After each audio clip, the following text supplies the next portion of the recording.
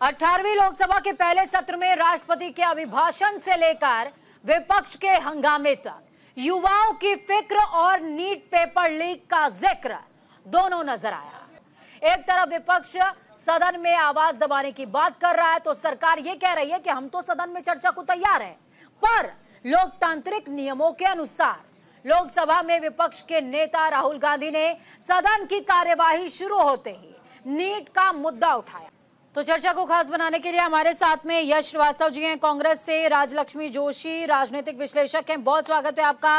निवान शर्मा है हमारे साथ आम आदमी पार्टी से संजय उपाध्याय जी, वरिष्ठ पत्रकार हैं। बहुत स्वागत है आपका। स्टूडियो में मौजूद हैं।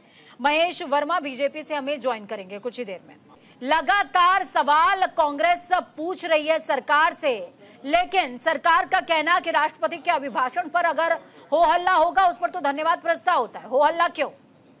पूछा जाना चाहिए कि क्या कोई भी भ्रष्ट ठेकेदार हमारे साहब को उद्घाटन के लिए बुला सकता है?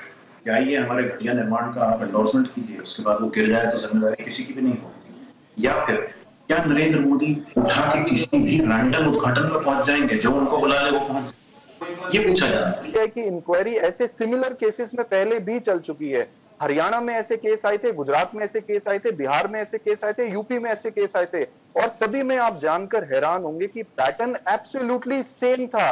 राजलक्ष्मी जी निवान जी साफ़ तौर पर कह रहे हैं कि जब तक इस नेक्सस को ब्रेक नहीं किया जाएगा, तब तक कुछ भी सॉल्यूशन नज़र नहीं आता है। लेकिन क्या राज्यसभा के अंदर वेल में चले जाने से नेक्सस खत्म हो जाएगा, या हंगामा करने से नेक्सस खत्म हो जाएगा? क्या लगता है आपको नेक्सस खत्म होने के लिए क्या चीज़ रिस्पॉन्सिबिलिटी बेयर हमें करनी पड़ेगी? या हंगामा करना पड़ेगा? क्या करना पड़ेगा? आ, जी नमस्ते पूजा जी। आपने बड़ा ही गंभीर विषय लिया है। और देखिए ये विषय आपके लिए भी गंभीर है सबके लिए गंभीर है। लेकिन क्या आपने सुबह से यही ये एक ही विषय पे आपने चर्चा की है? आपने अलग अलग विषयों पे चर्चा की होगी। आपका डिबेट का फॉर्मेट हुआ होगा।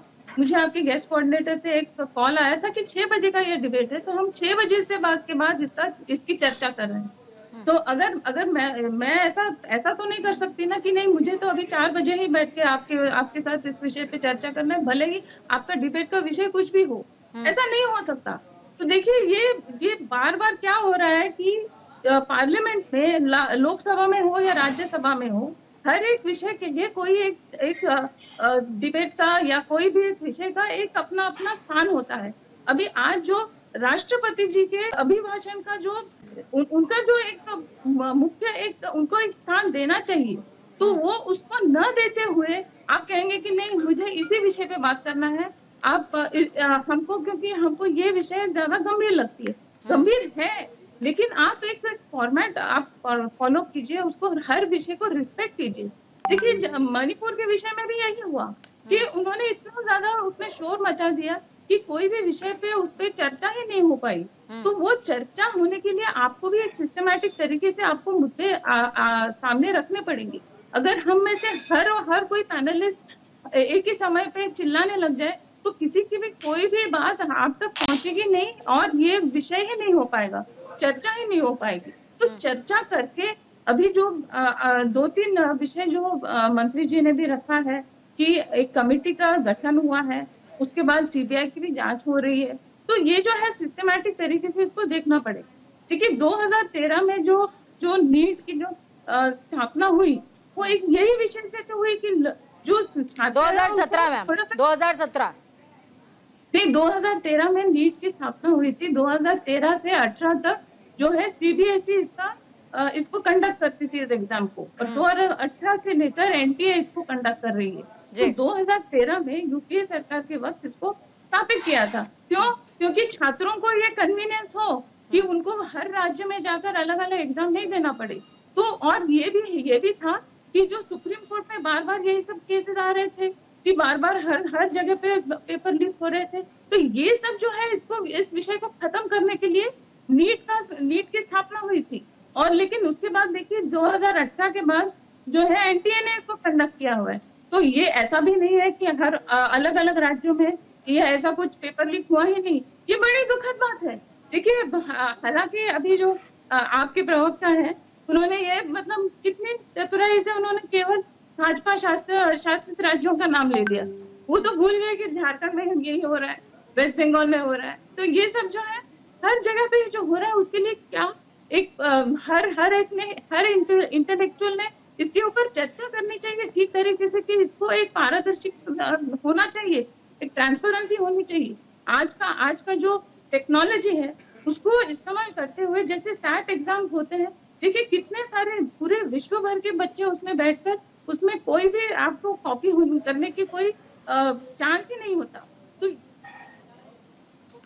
ठीक है। और 24 करोड़ बच्चों को इस तरह से पॉलिटिसाइज करके मुद्दे को भटकाने से ज़्यादा अच्छा है कि जब सत्ता पक्ष ये कह रहा है कि हम चर्चा के लिए तैयार हैं तो उनको चर्चा करनी चाहिए। सरकार की तरफ़ से जो कार्रवाई करी गई है वो कार्रवाई उससे ज़्यादा कार्रवाई नहीं की जा सकती है। जितनी कार्रवाई की गई है वो सटीक कार्रवाई है। मैं देख रहा था कि कम से कम हर साल सत्तर से अस्सी पेपर लीक के मामले होते हैं। लेकिन कभी भी इस तरह की कार्रवाई नहीं हुई।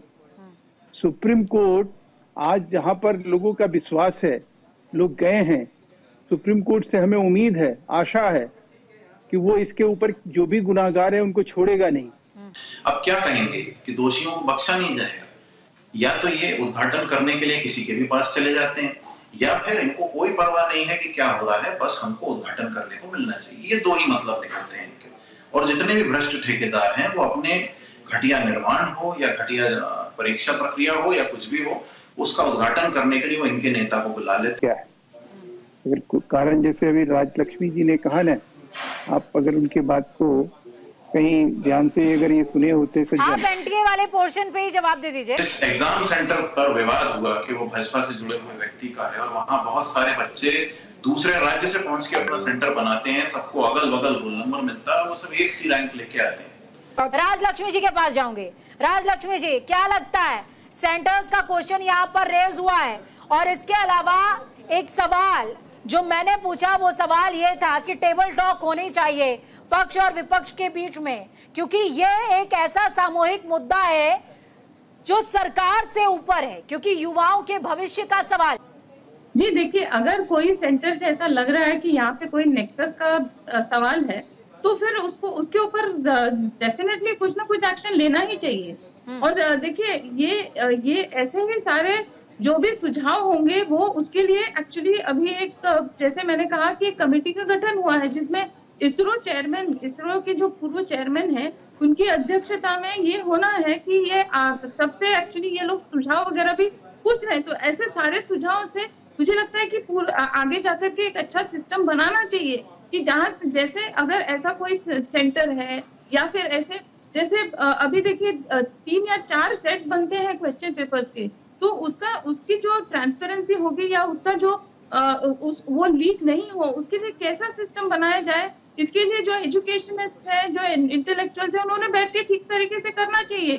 ये नहीं है कि ये भाजपा का सेंटर है ये इनका सेंटर है उनका सेंटर है।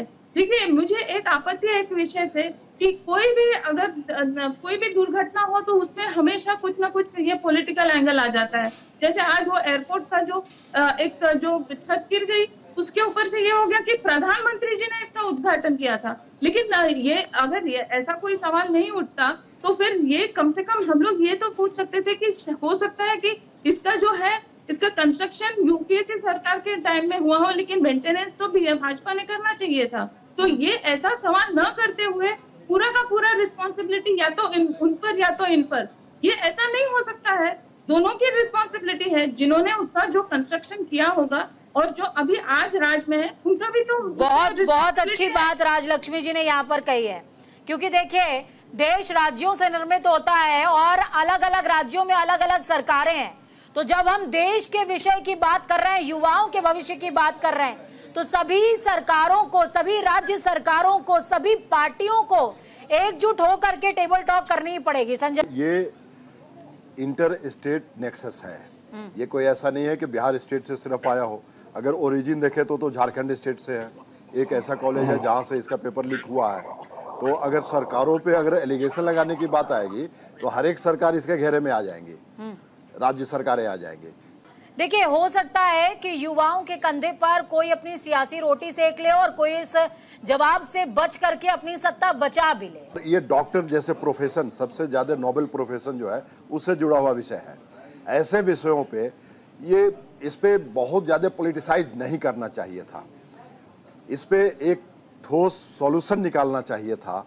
और जब आप जाते हैं इसमें अब इस्तीफा ले लेना और ये लेना। आप कितने मंत्रियों से इस्तीफा लेंगे? राज्य मंत्री जो हैं या राज्य सरकारें जो हैं उन सरकारों का भी तो दायित्व होता है कि इस तरह की चीज़ों को इस तरह की गोपनीयता को बरकरार रखें। बहुत शुक्रिया आप सभी का हमारे साथ चर्चा करने के लिए और इस चर्चा को खास और अहम बनाने के लिए।